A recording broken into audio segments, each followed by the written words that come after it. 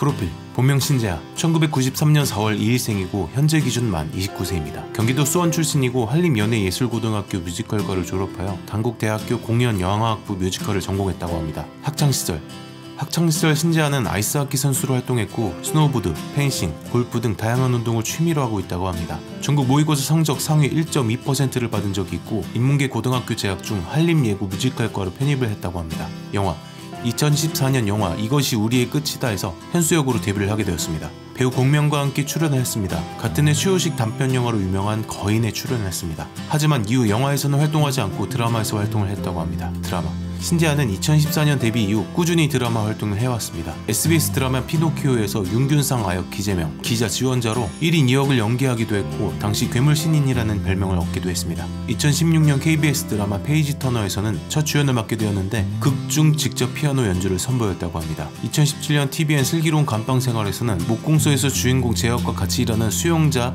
김민성 역으로 출연하며 얼굴을 점차 알리기 시작했습니다. 2019년 SBS 드라마 VIP에서 마상호 역을 맡아 연기를 하기도 했는데 했는데 눈치는 없지만 밉지 않은 장관집 막내 사원으로 많은 사람들에게 귀여움을 샀다고 합니다. 현재 TVN 드라마 1타 스캔들에서 1타 강사의 매니저 겸 기획자 역할인 지동희 역을 맡아 연기하고 있는데 배우 정경호와 bromance 케미를 보여주기도 한다고 합니다. 모범택시2에서 온하준 역으로 출연 예정이라고 합니다. 많은 시청자들은 신재하의 드라마를 보고 서브 남주를 한번 달달하게 연기해줬으면 좋겠다라며 많은 기대를 하고 있다고 합니다. 여담 드라마 OST를 불러도 될 정도로 노래 실력이 뛰어나기도 하고 라디오 사랑하기 좋은 날 이금희입니다에서 수많은 라이브를 선보이기도 했다고 합니다. 인터뷰를 통해 사극 작품을 하고 싶다고 여러 번 밝히기도 했습니다.